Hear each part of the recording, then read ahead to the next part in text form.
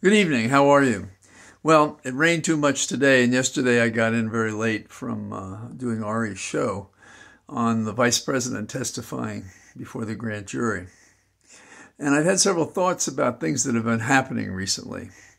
Uh, you probably have heard a variety of songs by Bob Dylan, and there's so many that without referencing a particular one, you might not know what I'm talking about. But he has a particularly strong song that he wrote in the 60s and it was about Emmett Till. Emmett Till was a 14 year old boy from Chicago, and he went to Mississippi. And while he was there, he went into a store where Carolyn Bryant was. Now, Carolyn Bryant just died in the last couple of days. She's 88 years of age. But at the time, she was obviously much younger because this was back in the 50s. I think it was 1955.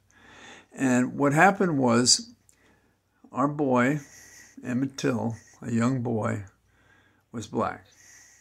And Carolyn Bryant was a white woman in a highly prejudiced and bigoted environment. And people said at the time that he came on to her, this 14 year old boy. And it turns out that there's been a lot of recanting of testimony since, and that that was not the case. But like all tragedies where we have discrimination and problems of race, these kinds of truths don't bear out the situation. So they kidnapped this 14 year old boy and they took him to a place and they beat him so bad and he was disfigured terribly and he was kept in an open casket.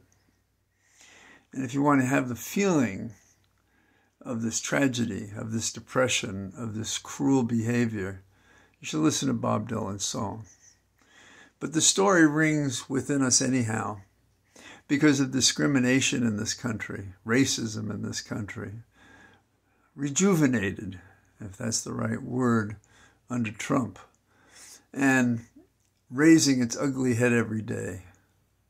John Lewis, great civil rights lawyer, beaten himself fighting for equal rights for people. But as a young man, as a kid, he got to talk like other persons of color did. And it was about being careful about police and about people and so forth. And he said that Emmett Till was his George Floyd, that it rang true with him and gave him fear for what could happen to him, despite the courage he showed as a civil libertarian in the years of his own life.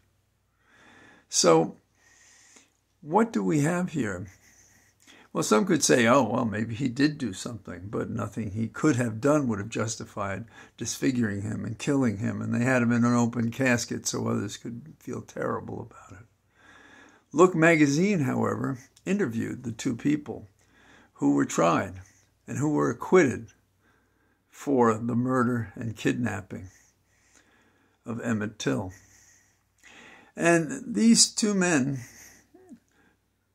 appeared in Look magazine, and under the theory of double jeopardy, they admitted that they'd done it. They'd been acquitted. They were free and clear. Now, in these days, if you were looking for acts that would resonate with this nation's need to seal off the poisons that were released in this kind of hideous assassination on a young man. If we had an attorney general like Robert Kennedy, within the days when his since recanted accuser has died, if we had an attorney general like Bobby Kennedy, we would do something to honor this young man. We would declare him innocent of these claims, and at the very least, say that he had been brutally murdered by a bunch of bigots. There are many ways to give an accounting. Shame may not be the effective one, as we've learned with Trump, but it is one of them. Remembering a person who suffered on behalf of civil rights and liberty is another. Prosecuting any of these people, that would have been good if you could bring it to conclusion in a just society rather than one with all white members of the jury bigoted voting to acquit the people who committed the murder that they felt comfortable with.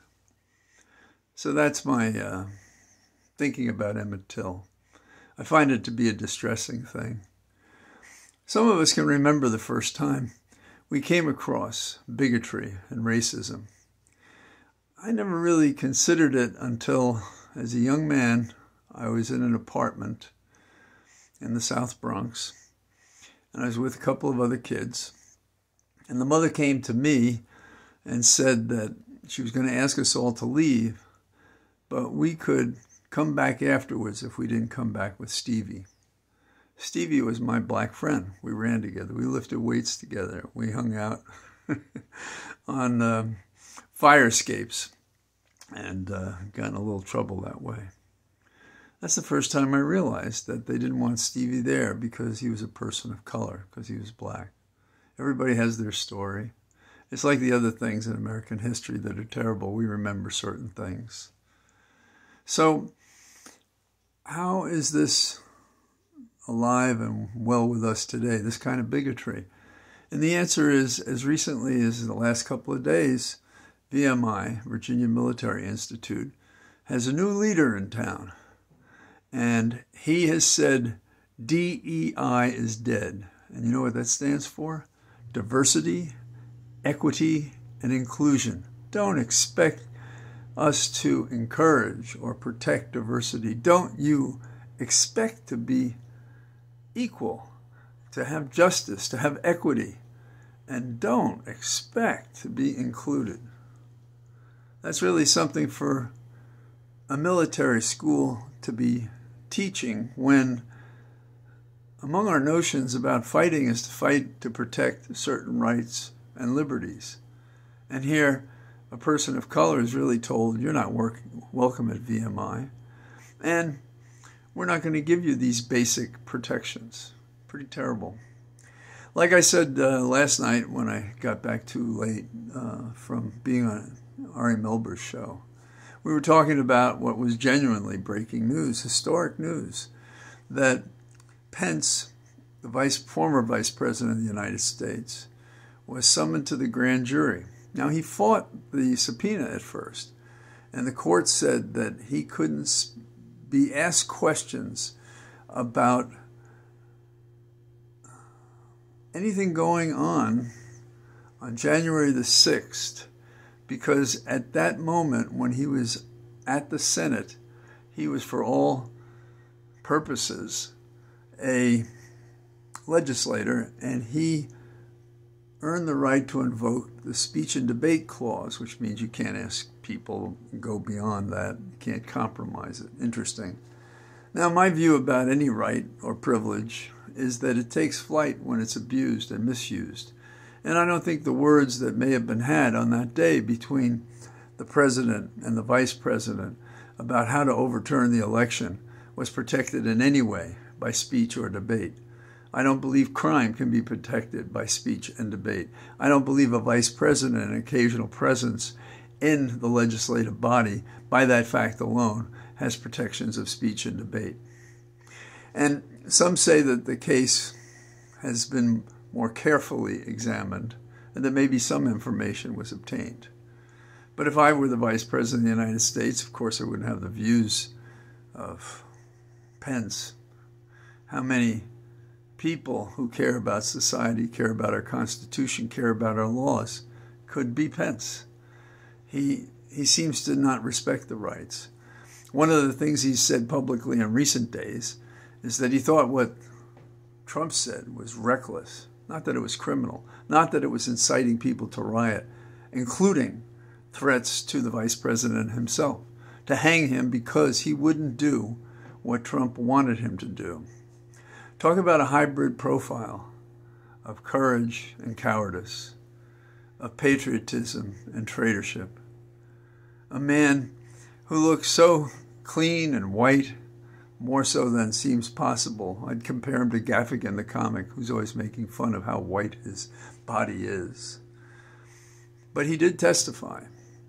And what he testified about could set dates and times when conversations and meetings occurred about Trump's efforts, which were stated quite publicly, that he wanted the vice president to basically roll over the House and the Senate sitting in joint session to decide and count the electors' votes to determine that Biden was the president, but their hope was to change that by having Pence decide that there was a legal objection and there should be research on that subject. It's quite a sinister thing when we take the departments and distort them in this way. So, Pence testified for hours. And we don't know what questions were asked. The grand jury is secret. Some of it may be said. The witnesses can always talk about it. Uh, if there's a fight or an argument about what Pence withheld and refused to answer. That could be a courtroom battle, might even be public. We might find out about it that way.